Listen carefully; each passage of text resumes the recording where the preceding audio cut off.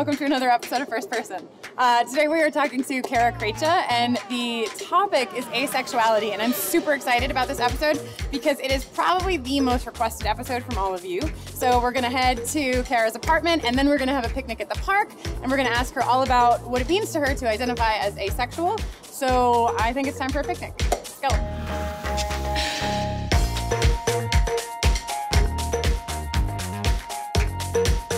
Carrots and hummus and crackers, and we're gonna have a picnic in the place that you do a lot of your writing. I'm Kara, Kara Kratcha. I'm going to be starting a master's in library science so that I can become a librarian. In the meantime, I'm a barista. You've written for my organization, Everyone is Gay. Yes. But can you tell me what other kind of writing that you do? So I just graduated from college, and there I was doing this really long-term project about asexuality and Sherlock fanfiction. I am gray ace, non-binary, and queer. I prefer ace because I think it sounds less clinical. And Plus, also- like ace.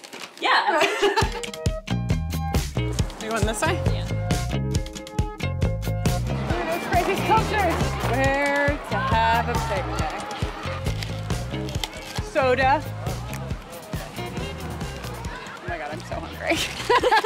How do you identify specifically? So I identify as gray ace. Okay. Which is kind of under the ace umbrella. Mm-hmm. Asexual or ace is a person who does not experience sexual attraction. A person who identifies as gray ace is somebody who's like somewhere between like asexual and allosexual, which is like the opposite of asexual. Mm-hmm. There are lots of ways that you could be gray ace, experiencing like low sexual attraction, only experiencing sexual attraction in specific circumstances, or like not really understanding like what sexual attraction is, being mm-hmm. unsure about it. And then there's within gray ace like another identity called demisexual, and that's a person who only experiences sexual attraction in the context of like a close emotional bond. So it took me a really long time to like claim asexuality as like an identity for myself. If somebody said to me, asexuality is just celibacy, I would say, well, no, because asexuality is about attraction and not action. A person who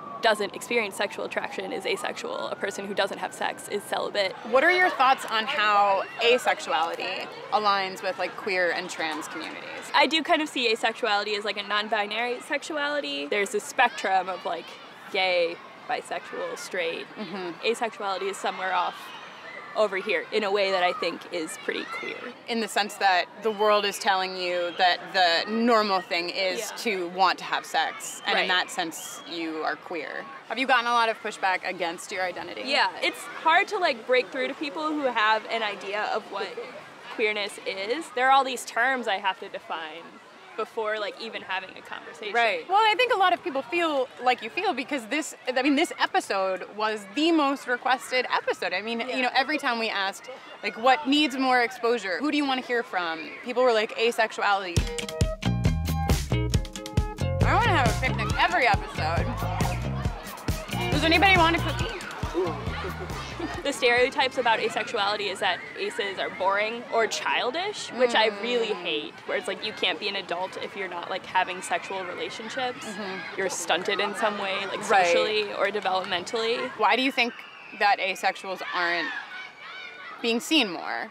I think it's a hard thing to represent. That's why I ended up studying fan fiction because that was a medium in which exploring sexuality is a norm. Fan fiction authors are exploring like intimacy that like isn't portrayed on screen because it's it's boring, but like really intense fans don't think it is. Right. But like, how interesting would it be to have a, a representation of a couple where one of the people is asexual and they're Yeah. having that dialogue and like exploring that, and you see the nuances of what that means. Exactly. No, I think it can be interesting, and I think the most interesting stories are about characters that that um, defy your expectations. I first found Sherlock fan fiction right when series three was coming out, and something in my brain said, you know, I bet there's fan fiction of this, and let me tell you, there was. I know that I've like made friendships and like relationships through this project through fan fiction that have helped me Take your time, chew your pepperoni.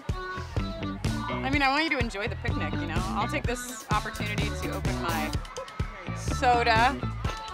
I figure if I make the joke enough, they'll have to put it in. Yeah.